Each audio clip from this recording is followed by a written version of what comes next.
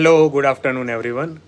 So, since many days uh, there are clouds in weather of Ahmedabad तो अभी क्या है कि बहुत सारे पेशेंट को इसकी वजह से कंप्लेंट्स होने लगी हैं। तो जब भी हॉट वेदर में ऐसा क्लाउड आता है और ह्यूमिड वेदर हो जाता है तो होम्योपैथी में कौन कौन सी ऐसी ड्रग है जो हमें हेल्प करेगी?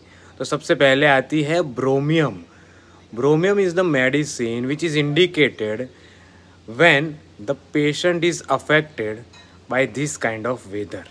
जब भी गर्मी की सीज़न में पेशेंट को ठंड लग जाती है, तब ब्रोमियम इंडिकेटेड है। इसके अलावा है lachesis lachesis is a wonderful remedy for hot season as well as this kind of humid weather इसके अलावा अलावा है gelsemium gelsemium is a true wonder it's a gem okay okay, क्या होगा जेल्सेमियम वाले पेशेंट में? ऐसे वेदर में उसको डल डिजी ड्राउजीनेस होगा।